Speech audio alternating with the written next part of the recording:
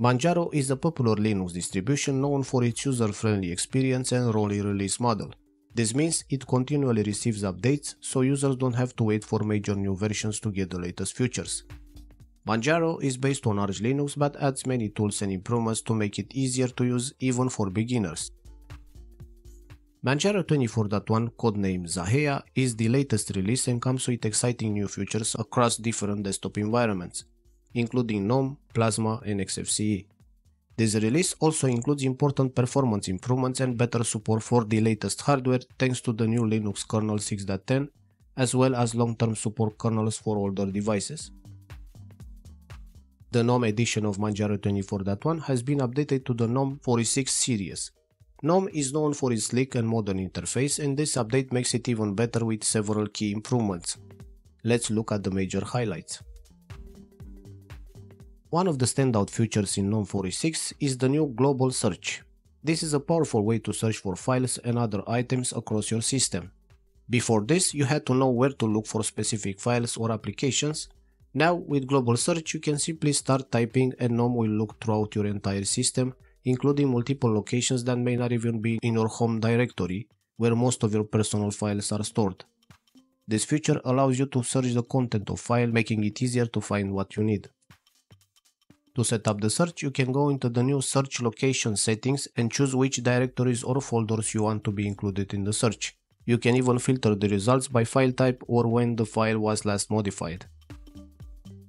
GNOME 46 makes working remotely much easier with a brand new remote login option.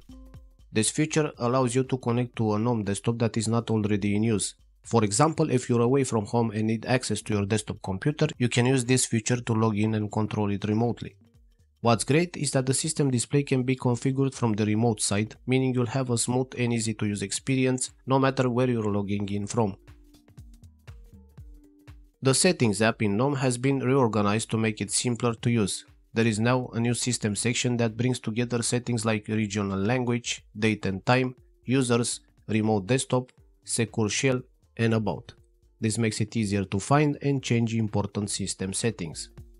Additionally, the app settings have been consolidated meaning the option for default apps and removable media are now in one place. These improvements help make the GNOME desktop more intuitive and easier to navigate, especially for new users. Aside from these bigger features, GNOME 46 includes many smaller enhancements that add up to a smoother overall experience. The core GNOME app like the file manager and calendar have also been updated with new features and bug fixes. Behind the scenes, there have been several technical upgrades that make GNOME faster and more efficient. The Plasma edition of Manjaro 24.1 comes with the latest Plasma 6.1 and KDE Gear 24.8. Plasma is a highly customizable desktop environment that allows you to change nearly everything about how it looks and behaves, Plasma 6.1 introduces a range of exciting new features and improvements. One of the most useful new feature in Plasma 6.1 is the ability to start a remote desktop session directly from the System Settings app. This feature is especially helpful if you need to connect to another computer, either to troubleshoot an issue or to work remotely. With just a few clicks, you can set up the connection without needing any special software. Plasma is known for how customizable it is and Plasma 6.1 takes this even further with improvements to the edit mode. When you want to change your desktop layout, you can enter edit mode by right-clicking anywhere on the desktop and selecting it from the menu. In Plasma 6.1, this mode has been redesigned with a sleek animation. The desktop smoothly zooms out, making it easier to see what's happening and to make changes. This makes customizing your desktop a more intuitive and enjoyable experience. Another exciting feature in Plasma 6.1 is the improved session management on Wayland. Wayland is a newer display server protocol that offers smoother performance and better support for modern hardware compared to X11, the older system used by most Linux desktops. One feature that was missing in Wayland was the ability to remember open windows from your last session. Plasma 6.1 now includes this feature, meaning that if you shut down your computer with multiple windows open, it will automatically reopen them when you log back in. This is still a work in progress, but it's a big step towards making Wayland as functional as X11. Although Manjaro still defaults to X11, switching to Wayland it's easy and can be done from display management.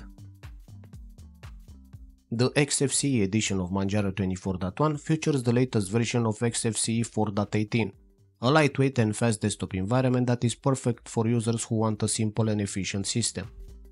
While XFCE is known for its stability, it also comes with some new features that make it even more useful. The Thunar file manager in XFCE has gained several new features that make managing file easier.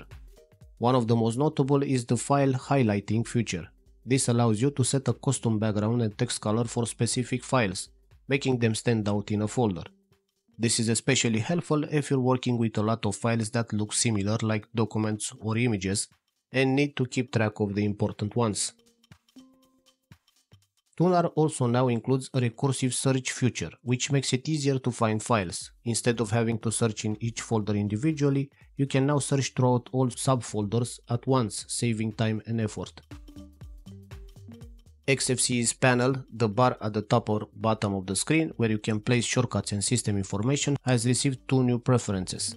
First, you can now set the panel's length in pixels rather than percentages, giving you more control over its size. Second, there is a new option to keep the panel above Windows, which means maximized apps windows will no longer bump into the panel. Instead, they'll fill the space behind it. Another handy addition in XFCE 4.18 is the Control Center, which brings together all the system management tools into a single window. This makes it easier to find and change settings, especially for users who prefer to have everything in one place. One of the new options available in the Control Center is the ability to disable header bars in dialogues. This makes XFCE look more traditional, especially for users who don't like the newer header bar style. There is also an option to show or hide the delete option in file context menus so you can customize how the right click menu works. Manjaro 24.1 ships with Linux kernel 6.10, the latest version available which provides better support for modern hardware including newer processors and graphics cards. If you're using older hardware, Manjaro also includes long-term support kernels like 6.6 and 6.1, ensuring that your system will run smoothly regardless of how old or new your hardware is. All around, Manjaro 24.1 Xahea brings a lot of exciting new features and improvements across its different desktop environments. Whether you prefer the modern look and feel of GNOME, the highly customizable Plasma, or the lightweight efficiency of XFCE, this release has something for everyone. With updates to the core system, better hardware support, and new customization options, Manjaro 24.1 makes it easier than ever to have a fast, secure, and personalized Linux experience. And as always, if you find this video useful, please like, share and subscribe. Thank you for watching, and I'll see you on the next one.